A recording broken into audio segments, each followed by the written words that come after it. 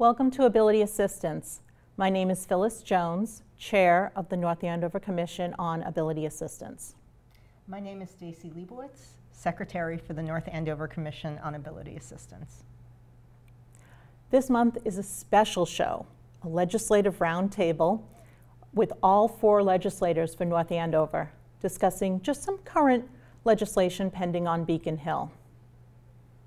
Welcome to State Senator Diana DiZoglio, State Senate Mi Minority Leader Bruce Tarr, Representative Nguyen, and joining us remotely is Representative Christina Minicucci. Thank you, everyone. Well, thank you, Phyllis. It's great to be with you and Stacy, and it's also great to see how technologically you've been able to incorporate Representative Minicucci. Isn't that fantastic? Well, it's a great example of a technological adaptation to a challenge, and I think there's a metaphor there for exactly the work of the Commission and this show. Next month in our January show, we're actually going to be doing Adaptive Sports New England, and the gentleman who does that particular organization is partially blind, cannot drive, was going to Uber out here, and instead I said, no, no, no, we'll do this. So we're really happy about this technology. Fantastic, fantastic. I know that uh, Senator DiZoglio and I are both skiers, and we often talk about skiing, and oftentimes we see adaptive ski programs on the mountains of New England. And it's always impressive uh, to see the uh, maximization of ability of skiers that are involved in those kind of programs, and I know it happens mm -hmm. with other sports as well. Mm -hmm. And so we look forward to that show. Is that so? That's airing in next January. month. In January. January. That'll be our January taping. Great. But to the reason why we're here today, we could talk for hours on wonderful things. Um, Stacy and I went through what's pending on Beacon Hill. You've got a lot going on, so by no way do we expect this to be an entire culmination of everything that's pending on Beacon Hill as it pertains to those who are considered disabled. And just so you know, when Stacy and I did our final review, this is as of the information we had last week, Saturday. So if, for example, you hadn't already signed on to this bill and we highlighted it for you and you've signed on since, we're not aware of that, just so everybody is aware of where things are at. Sure. All right. Um, we're going to take this down a list a little bit, give you each a little time to figure out your notes because we've got a lot here. Um, the first one we wanted to discuss is um, called the Equal Access to Medical Treatments Essential to People with Developmental Disability um, or Autism. And the one thing I think we really liked about this one was this one um, allowed for tablets, mm -hmm. alternative forms of communication which is really a big deal for somebody who either is afraid to speak or um, nonverbal. Are nonverbal. I, mean, I know I yeah. oversee programs. I work for Bridgewell, and I oversee programs that we have three autism programs, and we have a lot of individuals who are nonverbal. Some may choose not to speak, but many are not capable of speaking. And not having access to technology really hinders them from being able to communicate in a way that helps them to interact with the world. So it'd be great to know a little bit more about this legislation and, uh, and steps forward. And I think also for our audience, this really talking through this to break it down in a way that's understandable for the layperson. So we can start, well, first of all, we should give you just an update on process. Okay. okay. And so as we sit here right now, we are just wrapping up the first year of a two-year mm -hmm. legislative yes. session. And it's really important to understand that as of November 17th, the legislature completed its formal sessions for the calendar year. And that means that right now we are in informal sessions. And one thing that's important about Massachusetts government that a lot of people aren't aware of is that our Constitution actually requires us to meet every 72 hours. And so even though you may read in the newspaper or hear on television or radio that we're not meeting, we actually are. Yes, I get an email Monday through Friday. Um, master list, yes. I think, yeah. and it'll tell me who's in session, whether or not you're in formal session, informal right. session, what committees are meeting that particular day, um, and some other news of what's going on in the realm of government. So it's important to understand that while we do some things in informal sessions, in fact, we passed uh, the most recent ARPA bill, so called, in an informal session, but only after each branch had fully debated it and it had been subject to public hearing. But generally speaking, in informal sessions, we transact sort of routine matters where there isn't a lot of debate and there aren't recorded roll call votes. So something of the nature of this bill, which is extremely substantive, is something that we wouldn't likely take up in an informal session. I believe it was filed by Senator Keenan. I and I think it already right, had a public hearing, um, and it's in the uh, Committee on Children's Families and Persons with Disabilities. Yes. And, and I'm going to stop talking in a minute because I don't want to monopolize the conversation, but I, I would like to make a point, and that is that we as legislators, through the pandemic, have been become far more aware of technology and the importance of technology, particularly for folks that could be otherwise isolated Yes. because of the need to combat the transmission of infectious disease.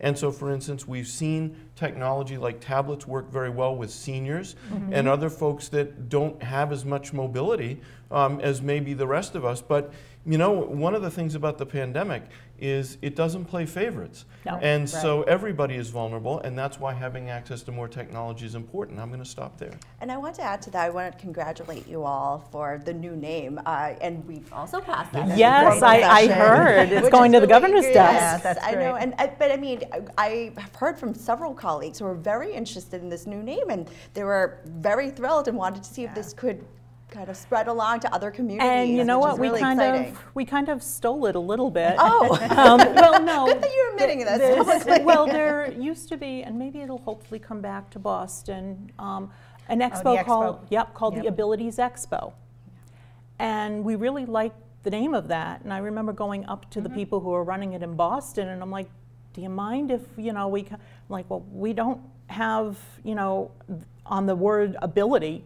You know, anybody can do that. And we had a long Mm-hmm. talk about it, and we realized there's a lot of nomenclature. It might just be just be the way things are said, but it means a lot. Mm-hmm. And ability assistance. Now we're not focusing on what people can't do, i.e., not communicate. We're now focusing on what things people can do Right. with some assistance, i.e., a tablet. Correct. And I mean, for I have. Oh, go ahead. Go I was- I ahead. was going to tell you a little story about this and why this bill is so interesting to me. Um, my son had a scribe for many years because while he was passing all of the variety of tests as far as um, you know being able to communicate, he couldn't get his thoughts onto paper. There was a delay between thoughts and paper. And so we had a scribe. So we had a teacher who had to sit by his side for all classes to write his thoughts. Um, finally, after fighting year in and year out, finally in third grade, we convinced the school to give him a computer because we knew he could type. And what was really interesting is that they didn't want to give him a computer all these years because it wouldn't be fair that other kids didn't have computers and he did. And so what happened, he went from producing zero written work to being a writer for the school newspaper and being an absolutely That's off the charts phenomenal writer. So this one little thing um, to to everyone else, it seemed like it was a little thing, but to us it was huge because it allowed him to unlock his ability and allowed him to really flourish and show a talent that nobody really gave him credit for having. So I find this is something that everybody should have access to. And, and now, isn't it interesting? Now, in you know, post height of COVID, hopefully it's the you know we've passed that point. But now all the children in all the communities, or most of the communities, at least I mm-hmm. know in North Andover, the schools are being provided Chromebooks to give to the students so that they can participate. So now the the one thing you know you could say your son was ahead of the time. And I think this piece of legislation too, um, it starts the conversation, right, about Yes. equitable access to opportunities that exist, right? And you were talking about the tabs, but I'm thinking about the story, uh, Stacy, that you shared with us as legislators about um, My sister. your sister. Thank you. I wanted to allow you to say that. No, Um, that's okay. and uh, and how there was this, you know, sort of cliff with her being able to obtain services, where, you know, she had a limit due to this this this test of, you know, needed to be 70. Uh, but you know she happened to get 72 Yep. and was automatically off the cliff and unable to access services due to two points of a difference. Um, obviously, somebody that was in need of services, according to the stories that you shared with us here, um, but unable to do so because of you know some reforms that really, really need to be made in state government and the way that we are approaching these very challenging um, issues and providing services. Uh, so I think that this bill and bills like this start the conversation about how to more equitably address the distribution and accessibility of you know the, the services that we do provide here in the Commonwealth and make sure that we're looking at things like this. I, I don't know if this particular issue, I don't think it is, is a, is a part of this legislation, but No, it's a part of- when we take it up, legislation at this when we take it up, I would love to, you know, augment this bill or another bill like it Mm-hmm. by focusing on this cliff effect that we're seeing here, where you know folks are just unable to obtain services based on a couple of numbers difference. And we've learned, I'm sorry, you go first. Uh, we're both so passionate about all of this, but it's it's you know there are numbers, and it's also having you know had a lifetime of this with my sister, but also working in the field that people don't fit in a box, and I mm-hmm. think so. there's accessibility to the service, but and looking at an IQ or looking at a number, but also looking at the comorbidity for people. I mm-hmm. mean, I've worked with people with disabilities who have substance abuse disorders. So things are kind of boxed. The and, and I understand that things move at a certain pace, and also we deal with things that have been very structured for decades. So there's a slow process. And people But aren't data points, and, we need to pe- take a more Exactly. holistic approach of looking at all.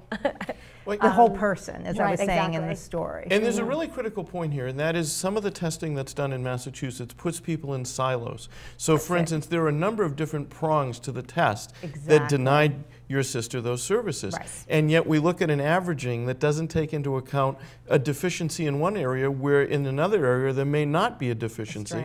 And the practical result of that is someone doesn't get any help at all. Right. And you know, those are things that are very sensitive and that we need to approach carefully, but I'm glad the point was raised Mm-hmm. because it really is a fundamental structural issue Mm-hmm. that prevents people from getting the care that they need. And it's not that um, we want to give folks care that don't deserve it, but we have to be more tailored into how we do it to get a better fit than the one we have now sometimes. Right. And talking about bo- uh, being boxed in, I think that it's great that you all are highlighting these bills because, as you all, we all know, over 7,000 bills are filed, and so it's ro- so important for you to highlight them. But I want to reiterate the point earlier when you were talking about, oh, I try to just grab a few, but I think that the important thing is to have a lens for people with disabilities. So all bills should have that lens and not just the, these particular bills with the word disability on them because I tend to look at bills in like four different types of buckets in terms of uh, access and resource. So number one, so increase resources for those who need it most, and uh, to expand access to make sure that we are thinking through like. It's great that the resources are there. How do they get access to it? How are they And then providing opportunities Mm-hmm. for others. So in addition to all of these things, we're talking about opportunities to get employment, college. Yes. What does that mean? How do we assist them? And then lastly, addressing discrimination, because to your point earlier about the uh, words matter, and that's why I love the name so much, but also thinking through where are we using these words in our laws and how do we address them? And so some of the bills that are not, um, that you haven't highlighted, that I want to highlight for you are bills are looking to use more positive terms, more inclusive terms uh, throughout you know, all of the, the mass laws and constitution and otherwise um, to make sure that people actually feel and um, themselves reflected. We in our laws. actually found that, um, I think that's 116. is that so maybe it was- 116? Yeah, So so could I it's There's also 240 is another one. Yeah. Okay. So it's a reference to, Yes, dare I say uh, it, mental retardation. Yes, Yes, it was yes. S one sixteen Exactly. where a lot of the bill Yes. was changed from um, retardation or mental retardation Yes.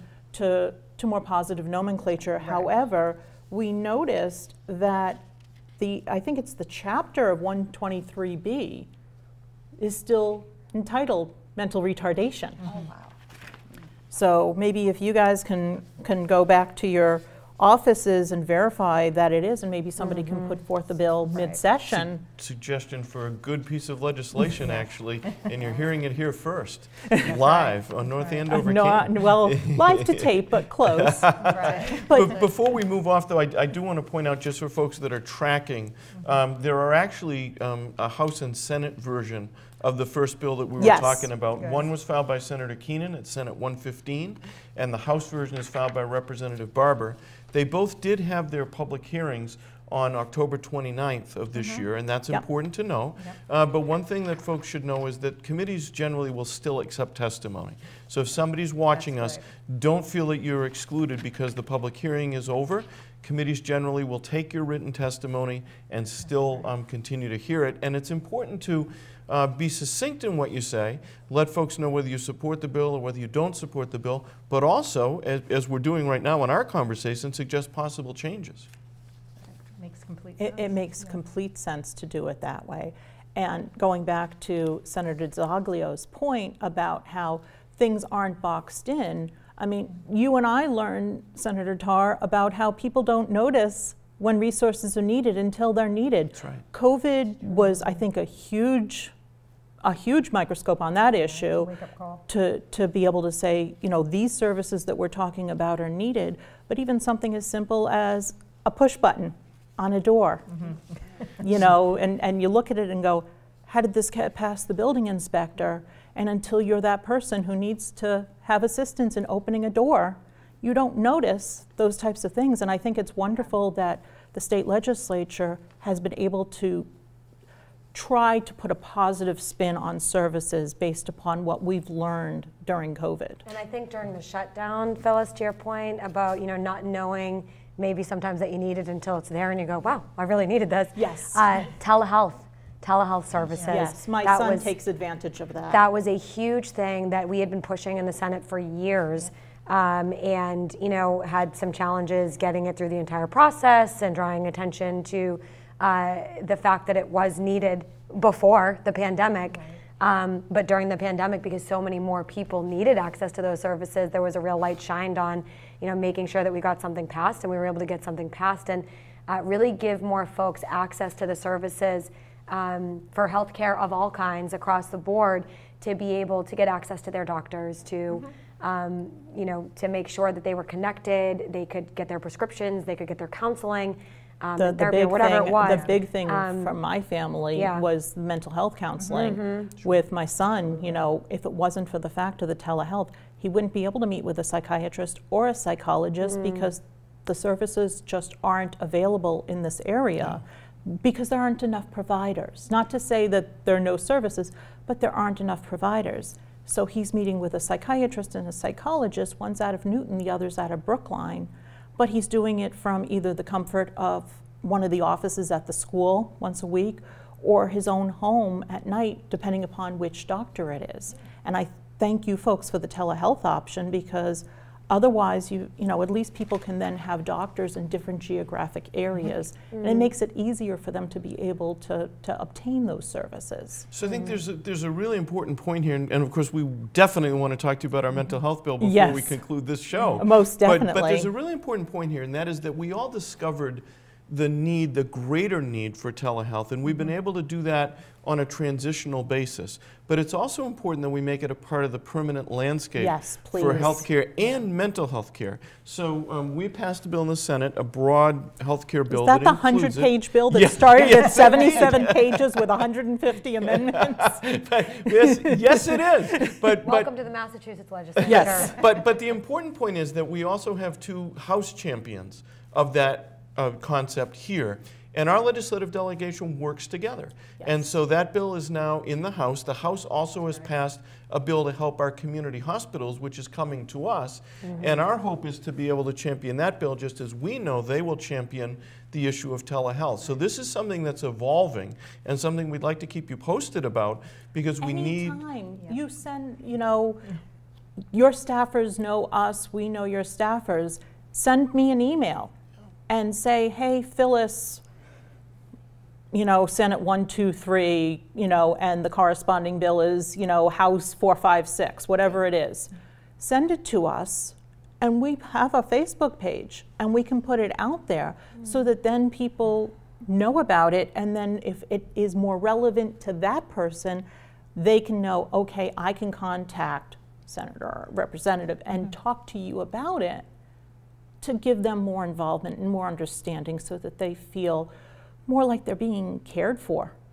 Right, and vice versa too. We want to hear from you Yes. about the issues that you care about, just as we discussed right before this taping about the shortage of providers, Providers, and yeah. what does that mean for wait time and what does that mean in terms of the support that we need to provide on the front end to even get people into this back field end, for right. human services Right. to provide for people with disabilities, whether it's a day program or um, having people to. Um, to I told you about my, de- my desire to learn ASL. Exactly. And, and there's no funding f- to help me do that. Right. Um, but yet there's an incredible need for ASL interpreters out there. And we need the same support in, as you said, our day services, and to, I guess, to piggyback on the telehealth, because where I work, we deal with telehealth as well. And I think part of the concern, because we have seen the need, COVID has sort of been the mother of invention in that respect, but also there's a push, and not just with telehealth, for our day programs, we had to pivot very quickly and do online programming instead of having people, we, we had to shut down. Yeah. And so there's that piece where we have been able to support people through virtual programming, but now that's kind of waning. But we have seen that some people actually did better with virtual, but yet there's a disconnect in some respects with the state and with some of the, um, I guess, financial support that we would get that okay we have to end that now because everybody's back but i think there is a need for it because some people perform better they do better they have an outlet if there's no other um, way to provide a service so i think those are things again it's showing the flexibility and the support for people's needs whether it be telehealth or virtual um, So I would. And I have two other things to add about that, which I think is really important. In um, in Lawrence and in Haverhill, which are two communities I represent, many you know I heard more from those communities than North Andover about lack of access of a place to sit and do telehealth. And so it allowed PCCD, which I know you've had on your show before, um, Professional Center for Childhood Development. They do a lot of um, early intervention, and they found that kids were dropping off because they couldn't do in-home services. So they were able to set up kiosks where families could go and safely bring their children in an enclosed space that would be just for them, and those are opening in public spaces so that people can continue to access early intervention services. So that's one example. The Boys and Girls Club in Haverhill opened up spaces during the pandemic where anybody who needed a place to access telehealth could come, get access to the internet, have an enclosed space, which is quiet. And we, we heard about that from, from people all around where they just, they wanted to access the telehealth, but either didn't have the technology mm. or didn't have a quiet space that was theirs to talk about personal things. So I think, you know, that's something when talking about equity to kind of think about Yes. creating more public spaces for people to access the telehealth so they can talk to somebody in Newton, even if they live in North Andover. Um, and then the other thing is in the ARPA bill, there's a little bit more than $11 million that went in there to support community health centers and having um, mental health, behavioral health, um, nurse practitioners and to um, to recruit and retain um, mental health practitioners in community health centers. So I think that that's important and speaks to what you're talking about, Phyllis, and not being able to find a provider when the provider is in need. And and I would say for us, like it's it's kind of outside of I think what a legislator would typically be doing to help people find mental health providers, but I get those calls. And I didn't get those calls before the pandemic, but people are getting to the point where they have run out of options and they're turning to me to say, Do you know anybody taking patients? Do you know any place where I can get services? And I think that with that ARPA bill, other people across the state were realizing that too. And, and we realize that's a place where we need to um, put more funding. Yeah, Most speaking definitely. about increasing access to opportunities, and just to piggyback off of what the rep uh, just was talking about with the ARPA bill, I know we want to get to this uh, Mental Health ABC Act addressing barriers to care, Yes. uh, which we've all been working on. And this bill was largely driven by the recognition that mental health uh, is as important as physical health, um, and that healthcare should be healthcare, a holistic approach, right? Um, so some of the things that you know we could just get started with this conversation, Yes. because I know this is very important to you. Um, look, just a couple of things that this bill addresses is guaranteeing an annual mental health wellness exam at no cost to the patient, uh, creating an online portal that enables access to real-time data to move patients from emergency to appropriate care, uh, expanding access to psychiatric care by requiring that state contracted and commercial health plans uh, cover mental health and substance use disorder challenges uh, and benefits uh, that are offered through the psychiatric collaborative um, care model. Um, also uh, filed in this piece of legislation was an amendment uh, by Senator Tarr and I to address uh, something that we haven't talked about necessarily yet today, uh, care for veterans in our communities regarding PTSD. We had uh, been working on this for several years. We actually passed a bill several years ago in one of the, the veterans uh, bills that was done. I think it was the Valor Act 1 or 2.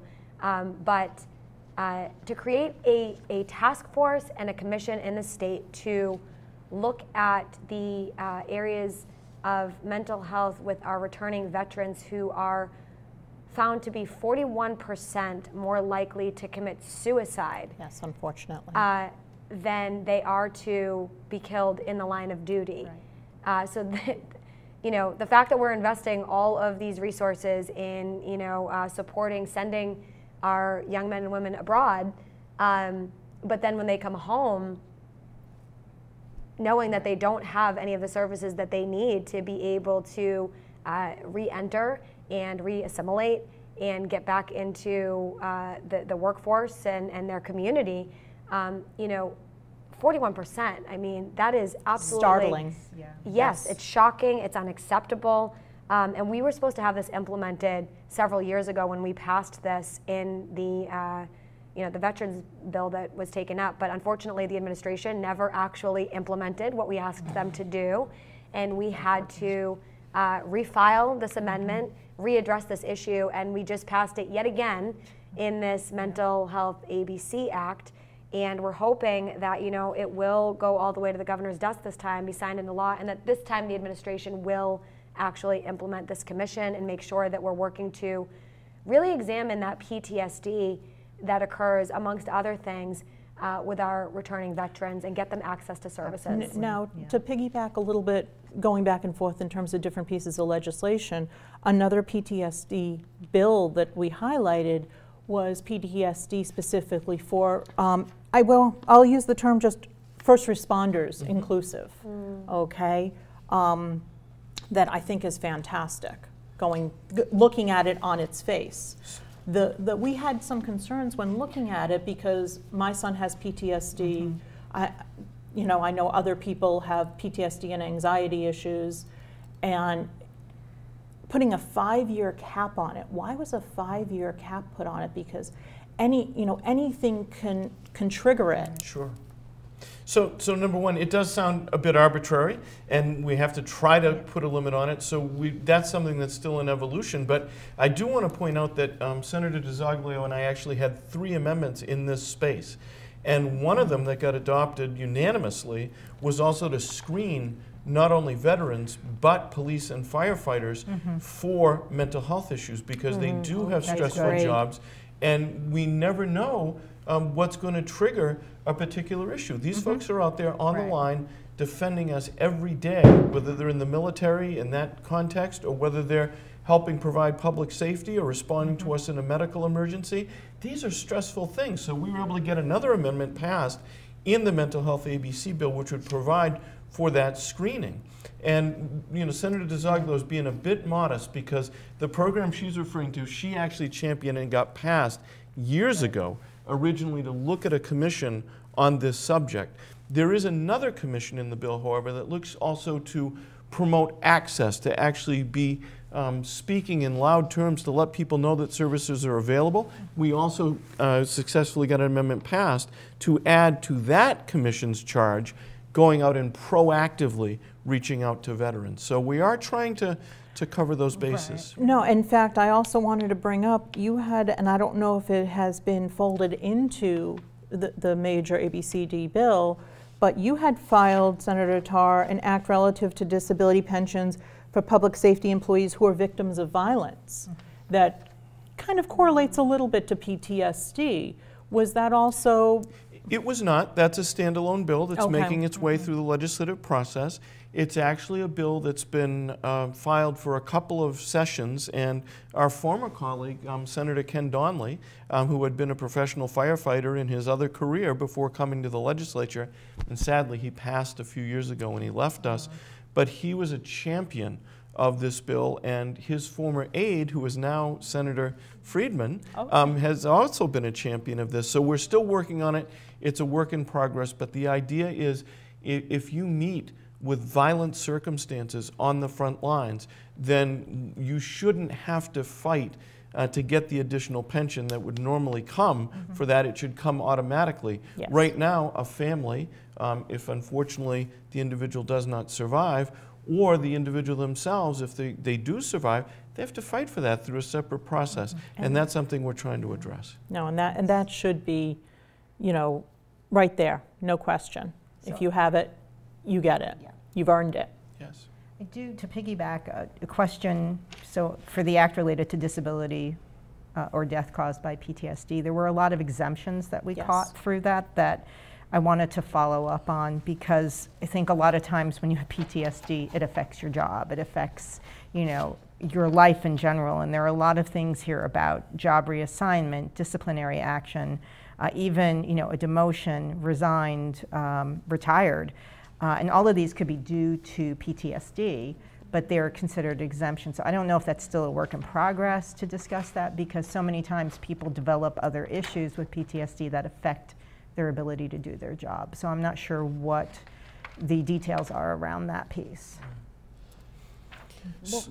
So it, it goes again in the category of work in progress, Right, but I yeah. don't, again, Fluidity in motion. Validity gonna- in motion, but we wanted to Yeah. ask because obviously being on this side of Exactly. you know, and dealing, like your son has PTSD and, and all of the other people that we have worked with who have that can affect so many aspects of Well, we, um, I, I think that we need to provide support for folks with PTSD so that, or other um, mental and behavioral health concerns so that they could be successful in their jobs. And I think that that is, um, there is a pending bill to address that issue. For this particular bill, this is relating to the PTSD that you get from your job and the support to provide after that and we take your feedback to heart and we'll certainly go you know back to look at this more carefully to see how that's crafted but great. to your point it goes hand in hand of like Right. the, these are not just individual symptoms or or um, issues like they basically Sort of like out the the rest of their IQ issue, it's not Exactly. boxed in. Right, Exactly. right. It affects the entire person, and Yes. you know, as Diana was saying, like the holistic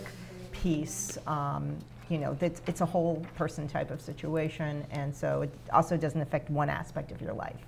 So that's why we wanted to bring that up. Well, absolutely, and I think Yeah. that it's important to, um, to your point about the the support, the additional support, Yep. Yes. is that actually uh, this past year I was able to get a commission Mm-hmm. um, to study how to support people with disabilities and other issues to allow them to continue their or to actually gain employment and then to be able to stay employed because of all the additional resources that they might need access to. To your point, ability assistance. How do we assist them and highlight their abilities? And so I'm really excited to be working um, to get that implemented and make sure that we continue to provide the support that they need. Now, I want to bring us back in total. We all here understand commissions and why commissions need to be put together and why reports need to be put together. But for those of us who are not into understanding, they just want to know the services. I shared with you folks my son's journey from when he had a seizure back in the third grade. Um, it was the flu. He finally got diagnosed with epilepsy. Um, he was getting better in terms of being able to refold into uh, society after some therapy and you know having physical therapy and, and emotional therapy and he was doing great once he was able to fold back in that was in the third and fourth grade sixth grade hits and we hit covid mm-hmm. and we can all sit here intellectually and say, and every one of us could have looked at my son and said, it's not just you this time. The entire world has closed down. It's not you've gone into the hospital for three months and now you're going to go back to school and you've lost all your friends again. But he could, because of his executive functioning skills, he couldn't hear that. No matter how many doctors, parents, teachers, remotely friends told him that. And then throughout the seventh grade, he missed almost all of the seventh grade. There was no, the hospital didn't speak with the school system at all to be able to provide him any sort of remote education. So the town was barred from providing a federal benefit of a fair and appropriate public education. And he was in and out of the hospital, was it four times, Stacy, I think? Yeah, at least. Where each time he was in the ER for two to three weeks before he went into just a general pediatric room for another three to four weeks, to then be in the locked facility for another three to four weeks, to then be sent home. And it was this constant, for lack of a better term, cat chasing his tail throughout all of the seventh grade. And now, you know, thankfully the town has been able to put something together and he's being sent off to an assessment um, collaborative, which will hopefully get him back the services he needs to get his, his federal education. But, you know, let's, let's look at this legislation that you filed, which I know is fantastic. But let's break it down. How would this have helped my son if it had already been in effect? So it's a really important question, and it's one that um, in, in the Senate we really want to talk about right now, and we know our, our House colleagues will want to talk about this. But one of the things that we did in the mental health ABC bill was create a database so that when someone is in an emergency department, they can be tracked for a bed. So the providers that are running that emergency department can find a bed because we all hear it constantly. The horror stories about someone who needs longer term treatment and the term that we use is boarding. They're Yes. boarded in an emergency department for days or weeks or months. And an emergency department has a very important role in our society, but it's a triage role. It's treat and stabilize. It is not to provide extended care. So one of the things that we were able to do in the mental health ABC bill was create that database. So if I'm a provider, if I've got a patient in the emergency department, I can look statewide to see where there is a treatment bed to be able to get that person into. And we do two separate databases, one for adults and one for pediatrics Yes. because they're different populations. Yes. But we also know that creating the databases is one step. We actually need to have the beds. So one of the mm-hmm. things that we do is suspend a bureaucratic requirement, which is called the determination of need, which any provider needs to go through in order to add a treatment bed in Massachusetts. We suspend the requirement for a DON if you are creating a mental health treatment bed so that we can create a That's little bit of an incentive to be able to A, cause those beds to come into being, and then B, provide a tool for folks to find them when they need them. And there's another important point, and that is our mental health system, uh, particularly when it comes to pediatrics, we always hear about various issues. One of the things in the mental health ABC bill is a comprehensive periodic review of the entire system. I noticed and that. so one of the things that we were able to do is amend the bill. Initially, that review was to happen every five years. But you amended it for we amended three. it for three because by the time you get the review done and take action, we don't do want an extended period of time to go forward. So it made sense to go to three years. Any shorter than that wouldn't allow for the full comprehensive review, but any longer than that will take too much time. And you had mentioned, Phyllis, the, the issue of studies. We want to make sure that we- when we do studies, they translate into action. And that three years versus the five, while it may seem like a simple change, will translate into a very important change. One more thing, just because Senator Tarr did such a great job at breaking down pretty much everything that that bill does. Uh, in addition to everything that he said, uh, staff supports in the ARPA bill. Uh, we put in uh, several million dollars into uh, state services to provide for staff supports because what we found out was even though uh, in some facilities there are uh, you know thousands of beds with 500 at a time potentially uh, being identified as having been vacant. Uh, the reason why they were vacant was because there weren't enough staff to actually support that patient coming in. This has been a huge issue in every area right now, right? And we've been hearing about it. Uh, but in particular, you know, in particular when it pertains to mental health services, uh, even when the bed becomes accessible now due to these augmented services, we still need the staff to be able to care for that patient, and that's been an incredible challenge. So, those ARPA funds are going towards providing more supports to train people, to get them into this field, uh, and to make sure that we have uh, supports with, with human on human uh, Yeah, no, as well. As a mother, I can tell you that that was also a huge thing because, you know, my son needed to be watched 24 7. And, you know, very kind people were there to assist him, but sometimes there was a language barrier. You know, and if you have, a, a, especially a young person, or even an, an adult, if there's a language barrier and they're already in a situation where they don't know what to do with themselves. Sometimes my son would come out of these seizures and have almost like an amnesia state, and he would start eloping, which, if you don't know, means running off. Um, you know, so and all of a sudden, if you can't communicate with that person, you know, so having a system where you're trying to, to at least put this in place, maybe offer scholarships to kids who want to enter those fields or tuition um, forgiveness if they go to the state schools to be able to do that. Is that in a thought process at all? There, there definitely is a lot of discussion about what these supports should be. So, loan forgiveness is often discussed if someone remains in the profession for a period of time. Tuition at the state, state schools is an interesting issue. And as you mentioned this, we're at the forefront of that issue right now because we are starting to talk about how can we engage our state schools in a better way in terms of creating more capacity because one of the staffing issues that we face is that we have lots of folks that would like to go into these professions and we have lots of folks that need their care mm-hmm. but there's a bottleneck. Yes. and so we hear about long waiting lists in instructional programs to be able to get through. So one of the things that we're hoping to do in the new year is initiate a, a more vigorous conversation about how we can open up that bottleneck how we can address it And maybe even utilize the tech schools at more shops and, and let that be a training ground as, you know, as a stepping stone to, to get things going.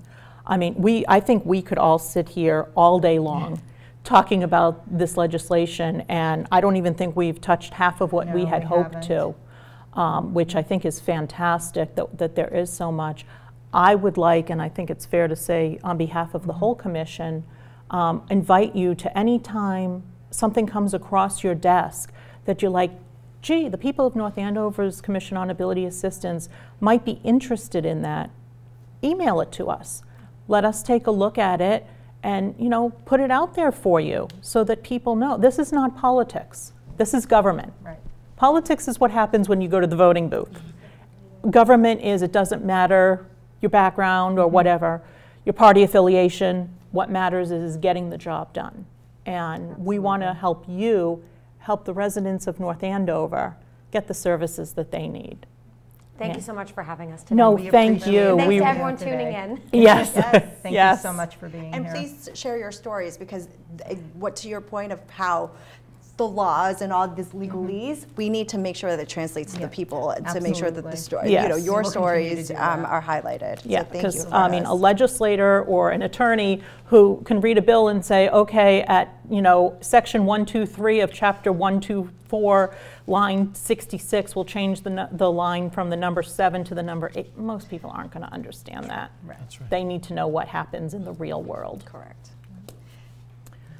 And on behalf of the North Andover Commission on Ability Assistance, thank you again to State Senator Diana DiZoglio, State Senate Minority Leader Bruce Tarr, State Representative Tram Nguyen, and State Representative Christina Minicucci. You can learn more about what's going on in both the State House and the State Senate by visiting their website at https double forward slash malegislature.gov. Join us in January, as we already mentioned. We are going to learn more about Adaptive Sports New England. In February, our guest will be Deanna Lima for Community Support Coordinator here at the town of North Andover's Police Department. And in March, our guest will be Joe LeBlanc, North Andover's District Veterans Services Coordinator. We're consistently looking for new topics to explore here on Ability Assistance. If there are any specific topics that you'd like to learn more about, please email me directly at pjones at northandoverma.gov. We would like to thank our, our volunteer crew from Curry College and from the Greater Lawrence Technical School, and I hope I get everybody's names correct. Uh, from Curry College, we have Carly Jones. And from Graphics Communications, uh, we have John Coffey. From the IT shop, Alan Garcia. And in addition to watching through your cable station, you can catch all of our programs on demand via YouTube. And if you have Roku or Apple TV, there's a app called Cablecast. The North Andover CAM website. You can also catch us via podcast on Podbean. Wishing you all a happy and safe and healthy holiday season. See you next month. Thank you. Happy holidays. Happy holidays.